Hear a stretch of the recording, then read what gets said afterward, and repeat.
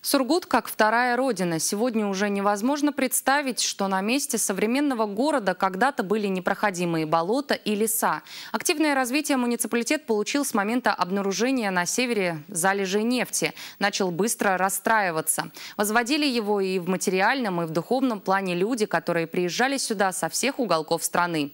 Для нашей сегодняшней героини Сургут стал вторым домом 45 лет назад. В свой юбилей Рахиля Губайдулина рассказала нашей съемочной группе группе «Как это было?». Внимание на экран. За активную, плодотворную многолетнюю работу по консолидации башкирского народа, сохранению и развитию национальной культуры, языка и духовности награждается медалью Алданур Сяз Халтын Губайдулина Рахиля Абдулгалимовна. Подписал Хабиров, глава Республики Башкортостан.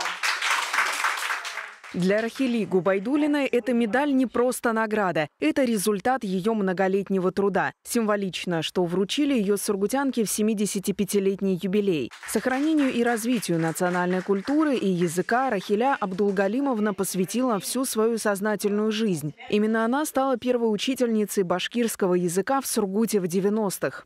В 1994 году впервые создан башкирский класс, который учила э, Рахиля Аблагалимовна.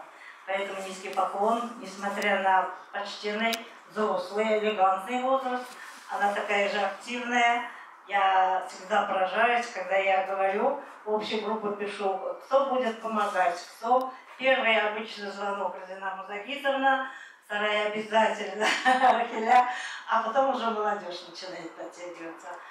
Рахиля Абдулгалимовна приехала в Сургут в 1979 году из Башкирии. На родине окончила Уфимский государственный университет, преподавала башкирский язык и литературу. Это дело продолжила и в экономической столице Югры. Вместе с мужем вырастили четверых детей. Их тоже воспитывали в любви к национальной культуре и традициям мы вот как в детстве говорили, у нас папа строгий, а мама добрая.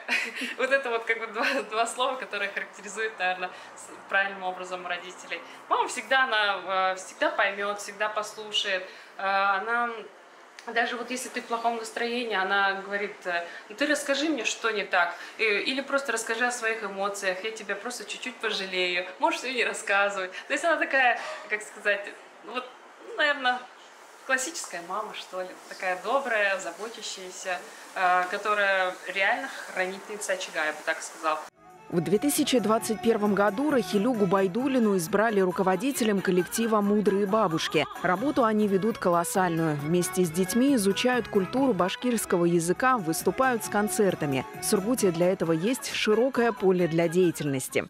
Сургут я люблю очень, потому что здесь живут все национальности, как это большой России, и они все живут очень дружно.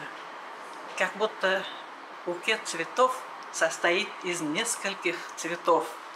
И вот это разные цвета, разные э, э, украшения этого букета, это национальности. И все национальности живут очень дружно. И каждая нация работает, э, чтобы его язык, культура – обычаи не потерялись. Свой 75-летний юбилей Рахиля Абдулгалимовна встречает с радостью и счастьем. Говорит, что нисколько не жалеет, что 45 лет назад приехала именно в Сургут. И, несмотря ни на что, продолжает активно участвовать в общественной жизни города, стараясь как можно больше передать подрастающему поколению. Я хотела бы так учиться, так бесстрашно гордо жить, так учиться, так трудиться – так товарищей любить, чтобы награду мне вручила орден Ленина страна, чтоб вручая говорила громким голосом она, верная труженица, учительница, дочь народа моего, ты носить его достойно возле сердца своего. Антонина Сахарова, Татьяна Расторгуева, Дмитрий Луцко, Сургут, 24.